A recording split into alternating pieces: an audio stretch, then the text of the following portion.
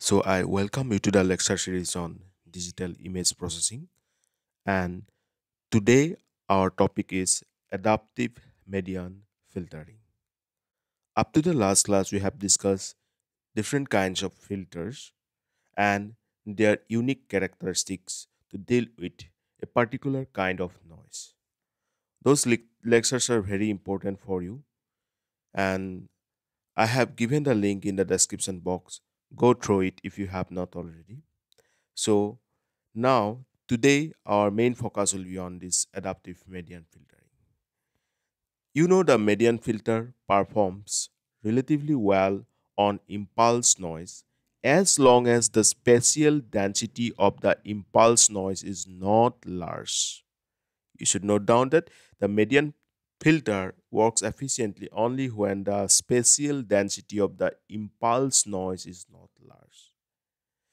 Now, this ad- adaptive median filter can handle much more spatially dense impulse noise and also perform some smoothing for non-impulse noise so that this advantage of median filter can be dealt with this adaptive median filtering as it can handle much more spatially dense impulse noise than median filter. And also it performs some smoothing for non-impulse noise. So first question to you that give me some examples of non-impulse noise.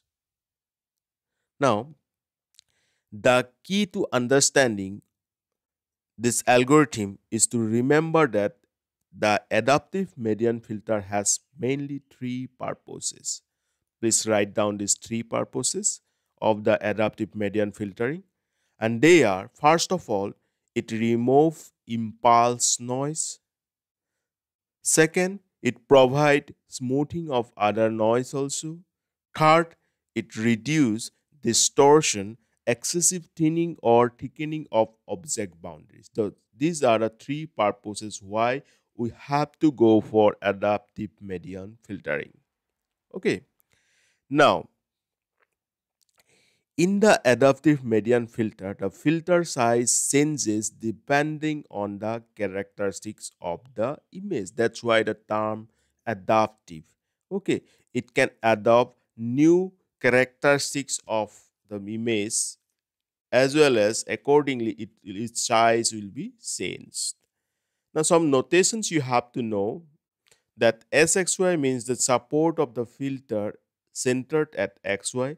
Z min is the minimum gray level in SXY and similarly ZX is the maximum gray level and Z med is the median of the gray level in SXY then ZXY is the gray level at coordinates XY and S max is the maximum allowed size of what SXY.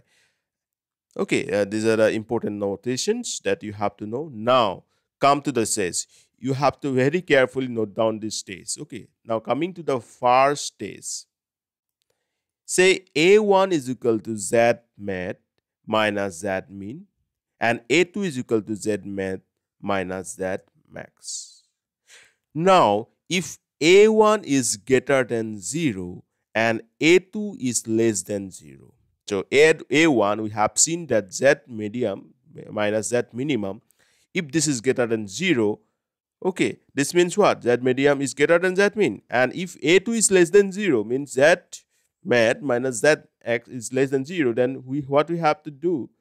We have to go to the stage B because if z med minus z max is less than 0 means z max is of course the maximum of the z median okay if this is true then we will go to stage b otherwise we will increase the window size what we will do we'll increase the window size and if window size is less than is equal to s max repeat stage a else output z med means what? We'll continue increasing the window, but up to what? Up to it is less than or equal to S max. And till then, we did not get the required thing that what we'll do? We'll repeat the stage A. Otherwise, what we will do? We will output Z med. This is the main steps. Now coming to the stage B. Stage B says that if B1 is equal to what? Z xy minus z min and b2 is equal to z xy minus z max. So you have seen that z min and z max is the minimum and maximum gray level in the SXY, isn't it? So now if B1 is greater than 0 and B2 is less than 0, then what you will do? You will just output ZXY. And you know that you have seen that, that ZXY is the gray level, gray value okay gray level value at your particular coordinate xy and we are comparing our minimum and maximum value to our current that zxy value. If zxy minus z min is greater than 0 this means our current is greater than z minimum. Then if z, zxy minus z max is 0 less than 0 means uh, what? Zxy is less than the maximum value of the gray level then we'll output our zxy. Okay, otherwise what we'll do, we'll output the z med. This test is also very important. Note it down. Okay, now you see that a at our stage A, A1 Z med minus Z min, A2 Z med minus Z max, and if A1 greater than 0, A2 less than 0, go to stage B, and or otherwise we are increasing the window size and if the window size is less than s max then we are repeating the stage a i'm repeating this thing again. And else output the z med that was our stage a. So what stage a determines? So stage a determines if the output of the median filter z is impulse or not. So i'm repeating again that stage a in our adaptive median filter determines whether the output of the median filter ZMED is impulse or not, black or white. If it is not impulse, then we only go to the stage B. Then only we go to the stage B. If it is an impulse, the window size is increased until it reaches S max or Zmed is not an impulse. So two things. First, we have seen that it is at the stage A, it is determining whether the output is impulse or not. If it is not impulse, then we go to the stage B. If it is impulse, we are increasing the window size until it reaches the maximum window size or Z med is not an impulse. You should know that there is no guarantee that Z med will not be an impulse. Okay, the medium value itself may be an impulse. Okay, that is not considered in the previous case. Now, in our adaptive median filter case, we are considering that fact also. So, the smaller the density of the noise is, the larger the support S max. And we expect not to have an impulse.